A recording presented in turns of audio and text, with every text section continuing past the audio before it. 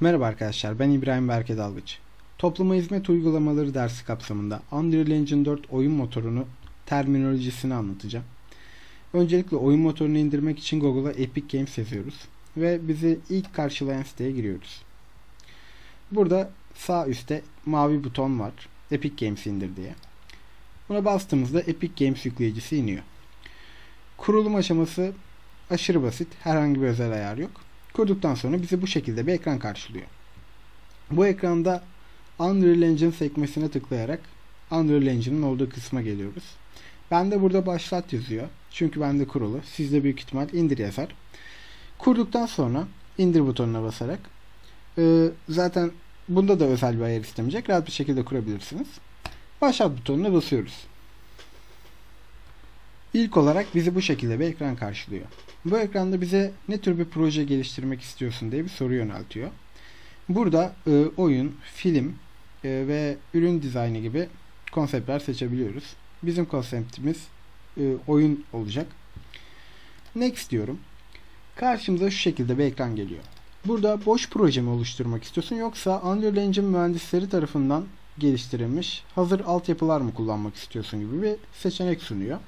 Ben burada ders kapsamında ilk başta e, hazır bir altyapı kullanacağım. Bir sonraki ekranda ise bize projeyi Blueprint mi yoksa C++'la geliştirmek istediğimizi soruyor. E, ben burada Blueprint'i seçeceğim. Bu ders kapsamında size Blueprint'i de anlatacağım. Bir diğer tarafta da ürünü bilgisayara mı yoksa telefonlara mı telefonlar için mi geliştireceğimizi soruyor. Burası ilk ders için önemli değil.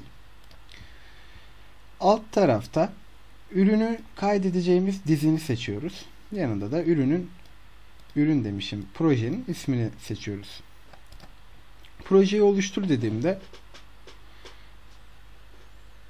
bizi bu şekilde bir ekran karşılayacak. Öncelikle ben bu ekrandaki her şeyi kapatmak istiyorum. Yanlışlıkla siz de kapattığınızda bunları nasıl geri açacağınızı göstereceğim. Ee, bu ekranlarda az öncekiler gibi sekme yoktu. Sol üstte bulunan sarı üçgene tıkladığımda yukarıda sekme çıkıyor. Öncelikle en basic olarak, en basit olarak Loadout Layout'tan Windows pencere, Windows sekmesinden Loadout Layout'a gelip Default Editor Layout'u seçiyorum. Yani varsayılan editör pencerelerine dön diyorum. Varsayılan editör pencerelerine döndü. Ee, şimdi bizim en çok dikkatimizi çeken şey buradaki sahne. Biz bu sahnede eklemeler, e, düzenlemeler vesaire bu, bu tür işlemler yapıyoruz. Play butonuna bastığımızda da bunları oynatıyor. E, gördüğünüz gibi hazır bir altyapı seçmiştik. Bu da bu şekilde çalışıyor. ESC butonuna bastığımda sahneden çıkıyorum. Yani simüleden çıkıyorum. Sağ üstte World Outliner diye bir alan bulunmakta. Bu alanda bizim sahnemizdeki bütün aktörler ve nesneler yer alıyor. Mesela duvar diyor. Buradan seçiyorum. Burası geliyor. Işık. Bu tarz şeyleri buradan ulaşabiliyorum. Veya eklediğim şeyler bu tarafa geliyor. Alt tarafta detaylar sekmesi var. Detaylar sekmesinde ise herhangi bir sahnedeki herhangi bir aktörüme tıkladığımda o aktörün detayları bana geliyor. Şimdi burada sorulacak bir soru. Aktör nedir? Aktör sahnedeki her şeydir. Yani sahnede herhangi bir göreve sahip olan her şey aktördür. Burada gördüğünüz kamera da bir aktör. Burada gördüğünüz karakter de bir aktör. Merdivende, zeminde, duvarlarda. Ben yeni bir aktör e, eklemek istediğimde sol tarafta bulunan empty aktör yani boş aktörü sahneye sürükleyerek yeni bir aktör ekleyebiliyorum. Ve bu da gördüğünüz gibi Word Outliner bölümüne geliyor. Aktör olarak geldi. Şimdi ben aynı şekilde buradan da bir aktör oluşturabilirim. Blueprint Class diyorum. Yani nasıl yaptım tekrar söyleyeyim. Buraya sağ tık yapıyorum. Content kısmına. Content Browser'a. Buradan Blueprint Class'ı seçiyorum. Beni şu şekilde bir ekran karşılıyor. Burada hazır sekmeler var. Bir de altında da bütün sınıflar var. Şimdi aktör çok geniş bir terim aslında. İçinde gördüğünüz gibi pek çok şeyi barındırıyor. Bunları ileriki derslerde detaylandırmayı düşünüyorum. Yine aynı şekilde buradan da bir aktör oluşturabiliyoruz. Buraya geldi. Ben buna new aktör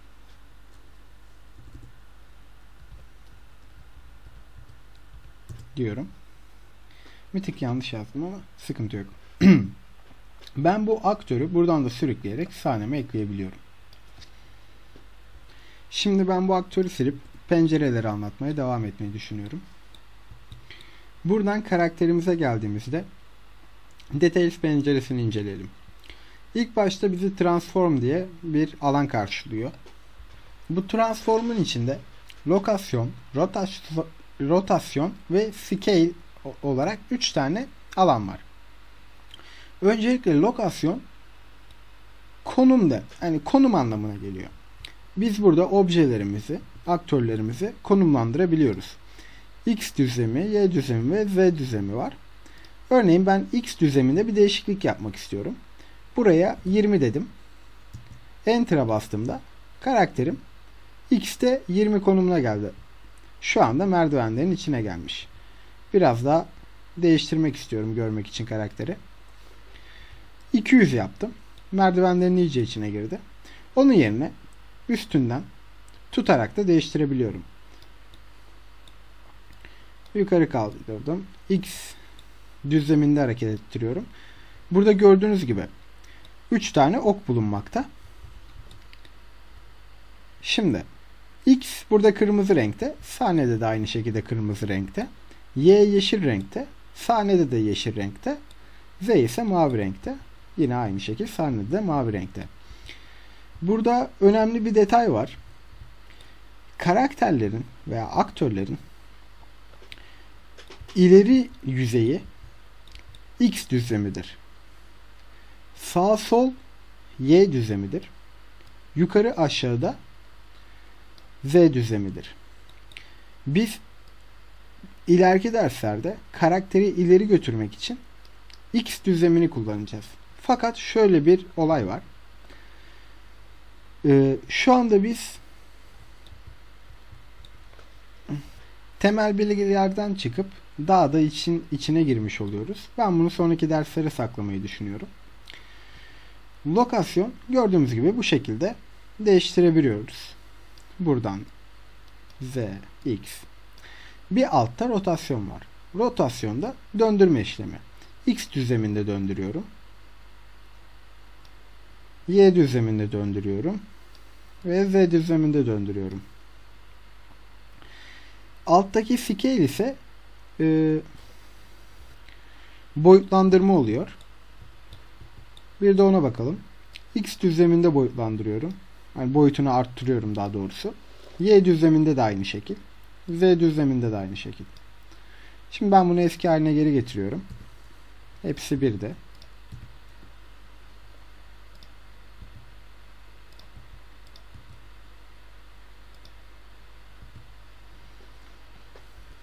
Transform bölümümüz bu kadar arkadaşlar. Bir altında kapsül komponent bölümü var. Burada mobility diye bir alan var. Static, station ve movable olmak üzere 3 tane seçenek sunuluyor bize. Öncelikle statik nesnesini bir görelim. Statik nesnesi demem yanlış olur. Statik komponentini bir görelim. Saniye bir tane küp ekliyorum.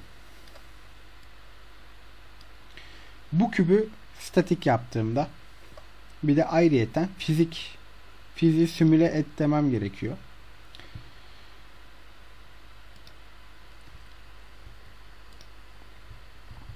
Oyunu çalıştırıyorum. Şimdi bir saniye yanlış oldu. Küp e, statik değilmiş. Şimdi tekrar statik yaptım. Save diyorum build diyorum. Burada bize bir hata veriyor. Saniye yeni bir ışık eklediğimizi söylüyor. E, saniye yeni bir nesne eklediğimizi söylüyor daha doğrusu. e, bu yeni nesneye göre de ışık hesaplamasının yapılmadığını söylüyor. Kaydedip build ettiğimde yani yeniden yapılandırdığımda bu hesaplamayı yapıyor ve hata gideriliyor. Tekrar play'e tıklıyorum. Hatta şimdi play'e tıkladığımda bu küp bu küp statik bir nesne olduğu için hareket etmiyor. Statik nesneler oyun oyun esnasında e, konumlarında sabittir. Hareket etmezler ve oyun içinde değişmezler. Bir sonraki bileşenimiz stationary. Şimdi bu bileşeni seçiyorum. Kaydedip build ediyorum bir kere. Ne olur ne olmaz.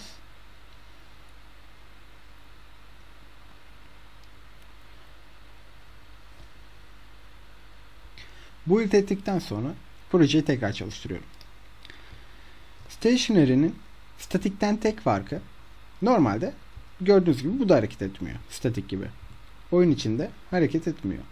Aralarındaki tek fark Stationary oyun esnasında şekil değiştirebilir. Ee, mesela bu bir küpken bir küre olabilir. Veya bu bir duvarken bu, du bu duvar deforme olabilir, aşınabilir. Yani bu, bu tarz şeyler olabilir. Statikte ise hiçbir değişim olmaz oyun boyunca. Bir diğer bileşenimize bakalım. Bu da movable. Movable seçeneğini seçtiğimde ise artık bu nesne